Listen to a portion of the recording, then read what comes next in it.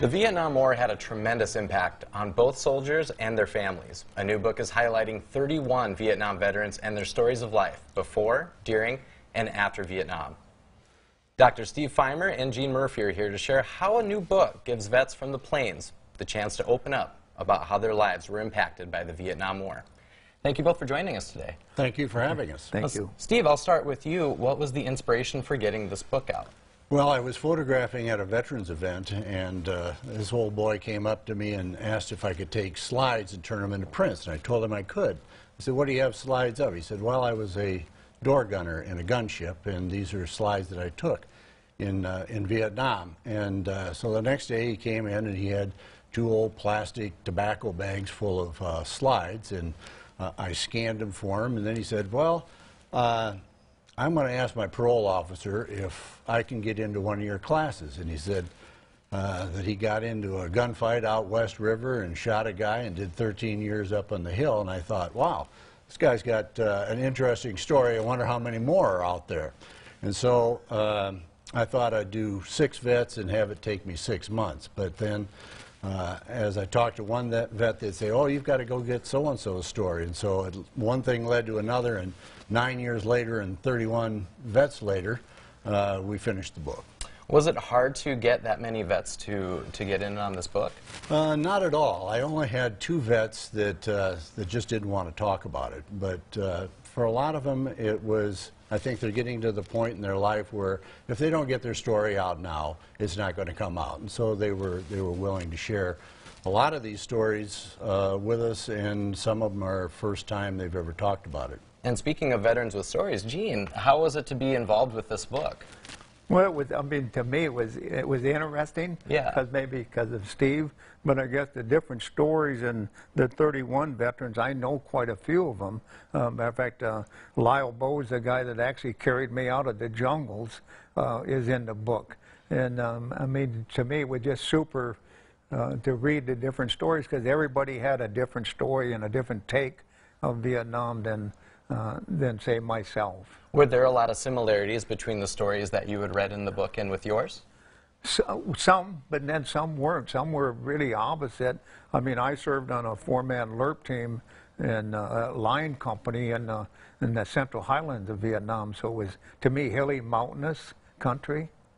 Wow. And um, did you have a strategy uh, with getting the Vietnam veterans to talk for this book?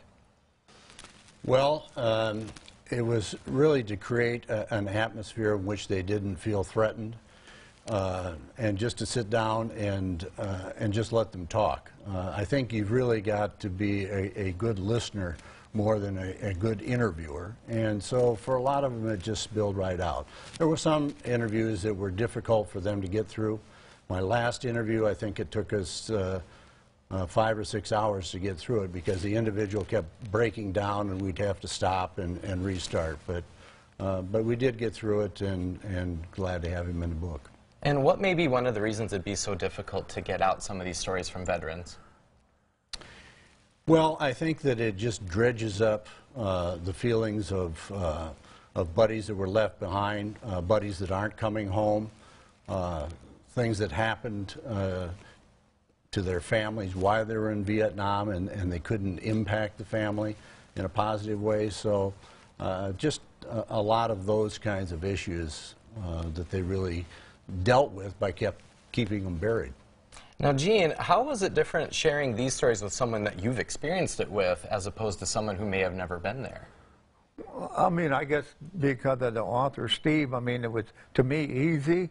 And I mean, and uh, the different questions he had for us uh, I guess I felt very fortunate that I always say the good Lord let me live, and, and with the help of Lyle Bowes, that I made it out of Vietnam. Or uh, after being wounded, we laid for, or we were pinned down for 14 hours. Wow. So it was just a long night. Or uh, yeah, so I mean, to me it was easy um, to, to, I guess, to share my story with with Steve. Okay. Now, what, Steve, why do you think it's so important for people who weren't there to have access uh, to this book and these stories?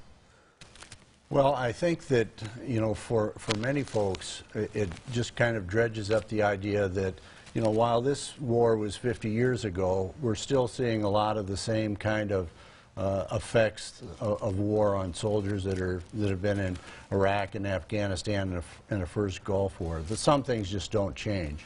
Um, that uh, PTSD now, which we're very conscious of, back in the Vietnam day, uh, there was no word for PTSD. It was all shell shock or battle fatigue.